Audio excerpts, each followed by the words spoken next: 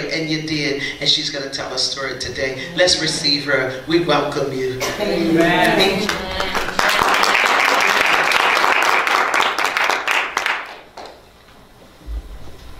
Yes, God is good Amen. every every day. Amen. Every day.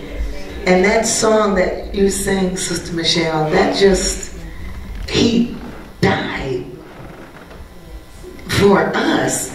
I mean, I, sometimes I often wonder when, you know, when we talk or when we speak about God and we share stories. Sometimes I wonder, do, are you are you listening? Do you really hear? Can you visualize? I mean, do you really get it that you're here? Really?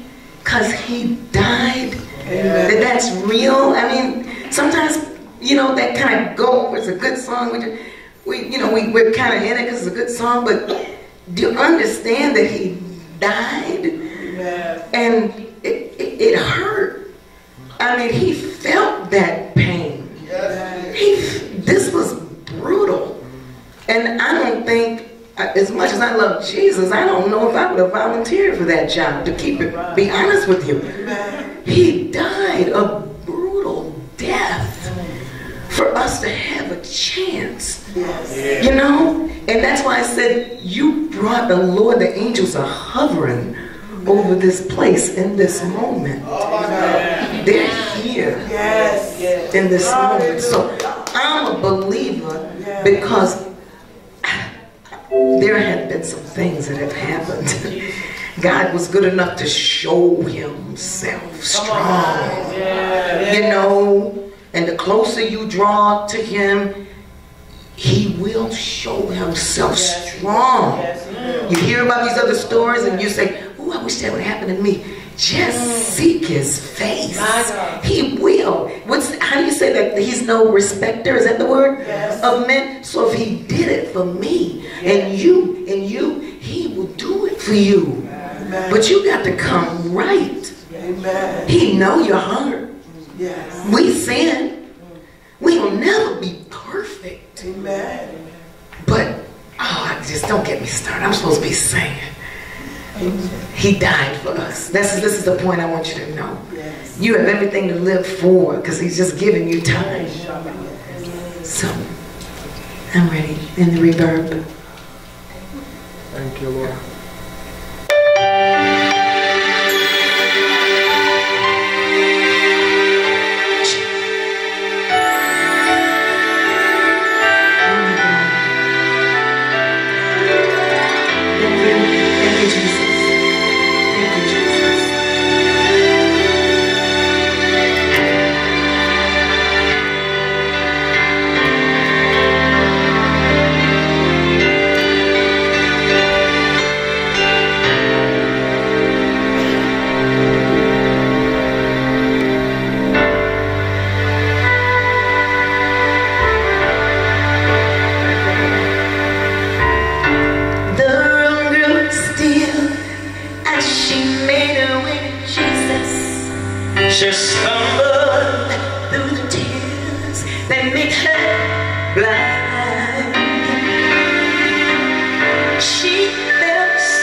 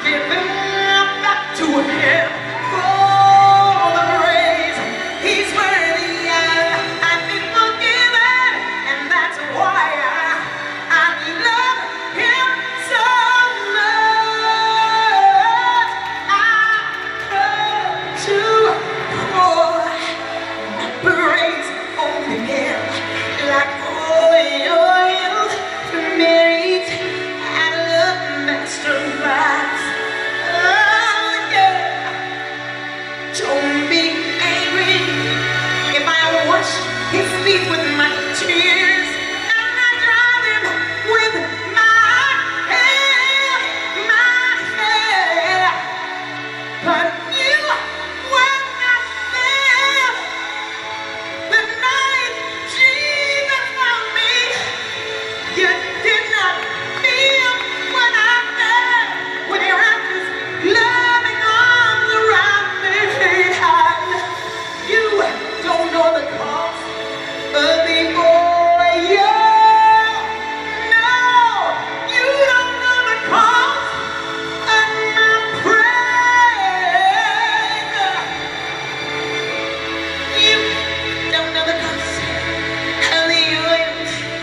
in my alabaster box.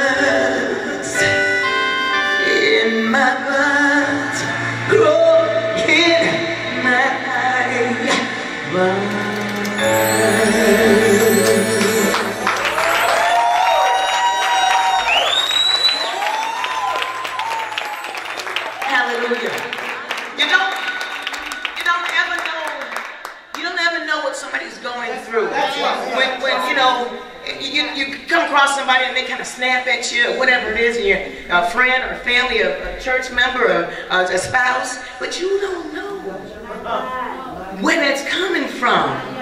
So as children of God, we, we have to always assume something positive, something, assume the best it's coming from somewhere so you're going to give back love. You know, don't, don't, don't, you can't win uh, with an attitude. It just keeps it going. It stirs the pot. You got more bad fire coming up. You know, you, you just gotta, you gotta handle it with a peaceful spirit, man. You gotta fight yourself to handle it with a peaceful spirit. Because you know, I, you know, I like to, you know, sometimes you just want to slap somebody because they, they make you be like that. But, but if we're children of God, we have to practice walking like him and responding like he did. Do you know how many times they chopped him down verbally? We're not going to talk about what they did to him physically. So if we're children of God, we have to we have to practice that. It's good for our own lives. You know, less headaches, less stress. You don't age so fast and you don't get sick so quick. And when you do get sick, you come over because you got that positive energy, God's energy flowing within you. Okay, so let's just let's keep going. Let's praise the Lord. I love Jesus, and I just I just I can't I just want you to understand what he did for you. I, I can't even get that in your head. You got to get that in your spirit, man.